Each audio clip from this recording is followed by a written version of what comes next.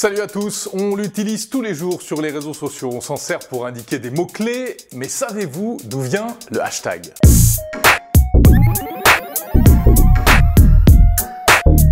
Même si on le trouve aujourd'hui partout, sur Facebook, sur Instagram, sur WhatsApp, eh bien c'est sur Twitter que le hashtag est apparu en premier. Mais ce n'est pas Twitter qui l'a inventé. Non, c'est un ingénieur de chez Google, Chris Messina. Tout commence en août 2007, c'est-à-dire il y a plus de 10 ans. À l'époque, euh, ça partait un peu dans tous les sens, les conversations sur les réseaux sociaux et notamment sur Twitter. Alors Chris Messina a une idée.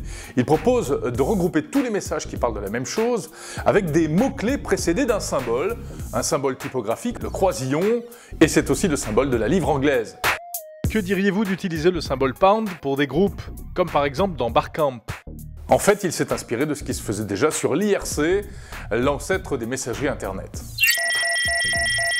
Alors ce qui est amusant, c'est que Twitter a d'abord rejeté cette idée.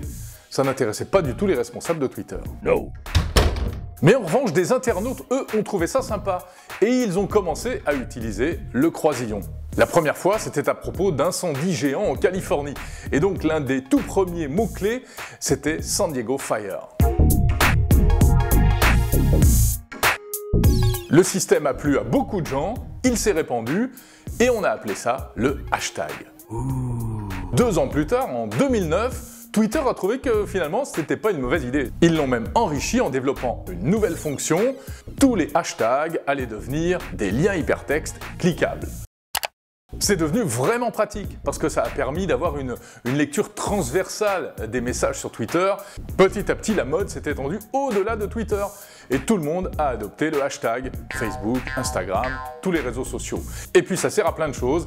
Ça permet également d'exprimer des émotions, du mépris, euh, de l'ironie, etc., etc. Bref, le hashtag de Chris Messina s'est répandu partout, y compris en France. Mais attention, en français, faut pas dire hashtag. Le terme officiel recommandé par l'Académie française, c'est le mot dièse. Ça a un peu de mal à passer.